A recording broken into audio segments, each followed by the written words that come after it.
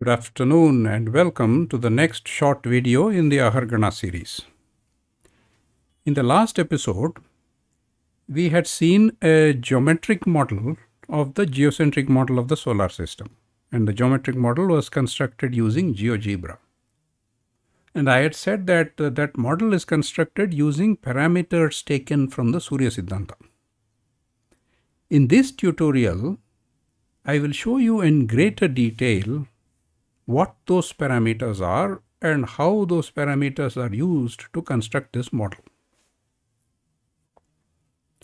Now, first of all, I have to show you that GeoGebra, which you see in front of you, this is the model I showed you the last time, but this comes with a built-in spreadsheet. Now the model itself, you know what it does. I am able to animate this model. I can increase the speed, make it even faster, stop the animation, reset everything, etc. etc. So this is the, the graphic part of it. But the spreadsheet part of it is here.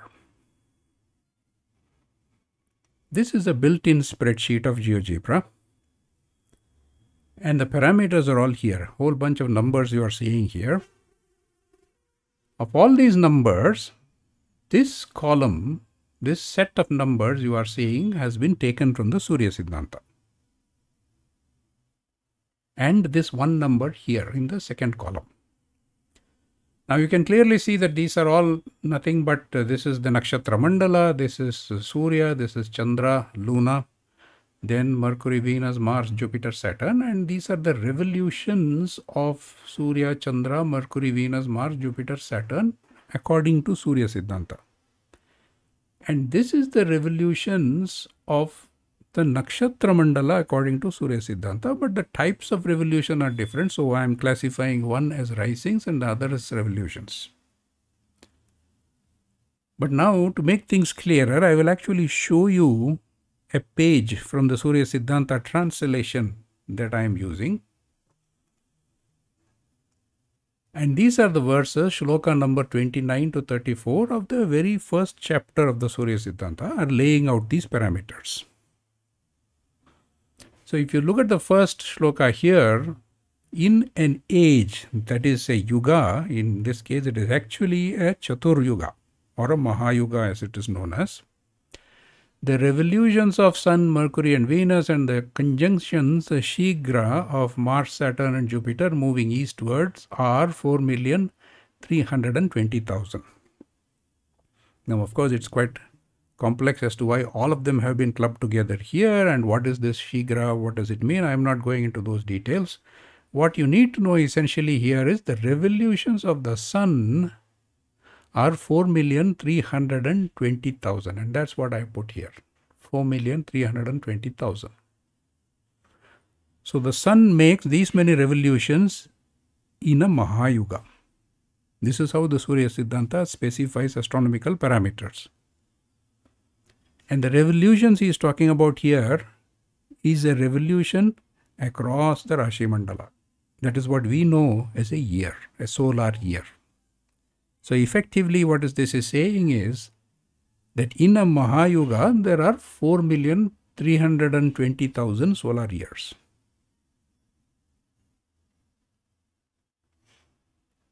Now you come to the next one. Of the moon, the revolutions of the moon is 57,753,336 and that's what I put here. 57,753,336. The revolutions of Mars, 2,396,832. And that's here. 2,296,832 of Mercury's conjunction Shigra 17,937,060 and that is here. 17,937,060 of Jupiter, revolutions of Jupiter, 364,220 and that is here. 364,220 revolutions of Venus conjunction Shigra are 7,022,376 and that is here 7,022,376 and finally of Saturn 146,468 146,568 excuse me.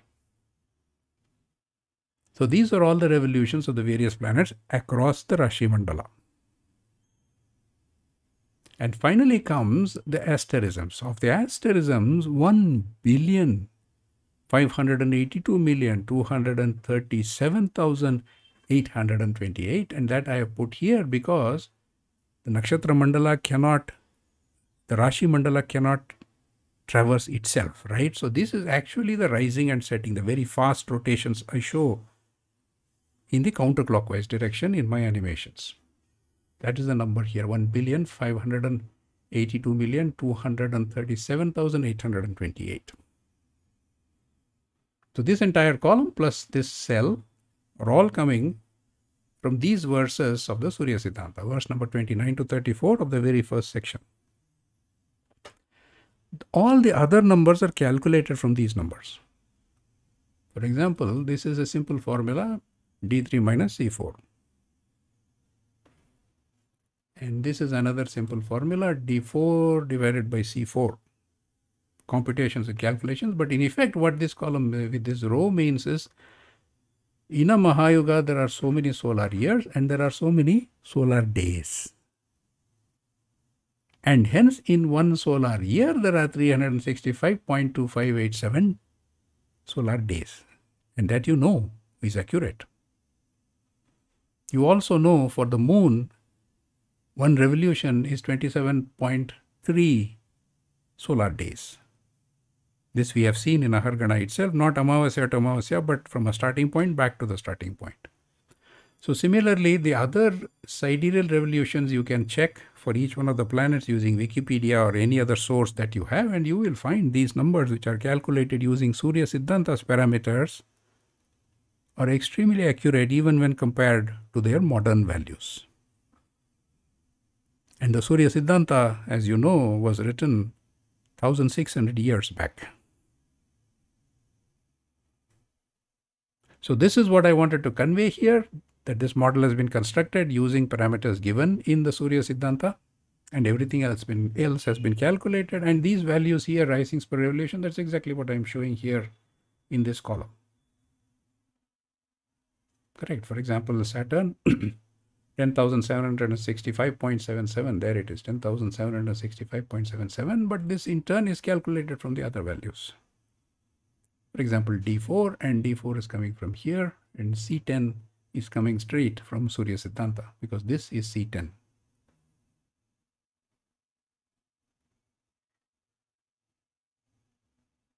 So with this, I hope you have got a glimpse of how the concrete numbers and parameters coming from the Surya Siddhanta are being modeled using a modern day geometric software called GeoGebra to produce extremely accurate results even today.